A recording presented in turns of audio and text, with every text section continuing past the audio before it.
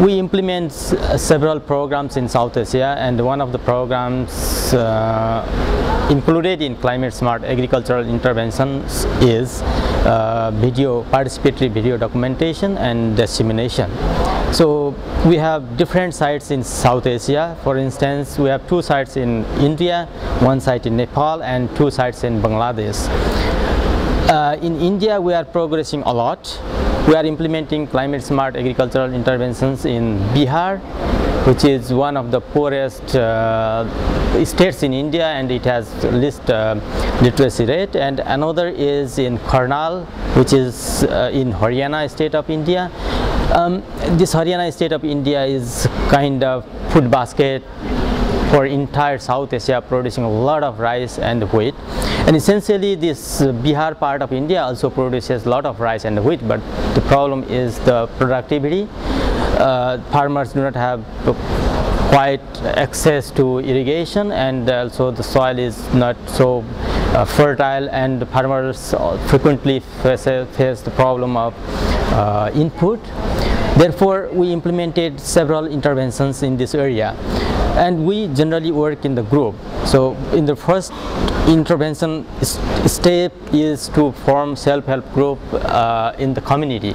So these groups are kind of mix between male and female and there are certain groups which are only female headed so last year we, we introduced several te technology, for instance, laser land labeling, uh, leaf color chart, so uh, agro advisory, index-based insurance, and several others. Essentially, we have four or five climate smart pillars. For instance, we have weather smart pillar, nitrogen smart pillar, knowledge smart pillar, um, carbon smart pillar, and so on and so forth.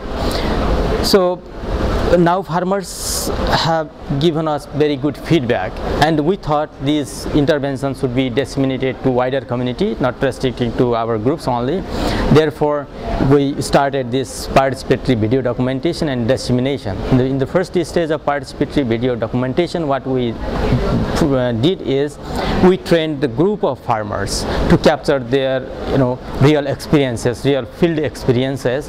And then we started documenting their you know life experience or field experience uh, covering particular technology. For instance agro advisory how they have been receiving agro, agro advisory how they, they are getting benefit out of that and what could be you know uh, benefit that we can enlarge to the wider spectrum of the farmers.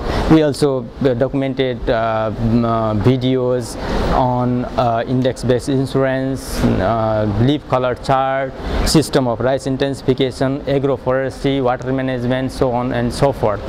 And now we are disseminating these uh, videos to many people in Bihar and our target is to cover almost 10,000 farmers in Bihar state of India and in the next step we will follow similar approach to, to uh, document videos and disseminate videos to other part of India, Nepal and Bangladesh.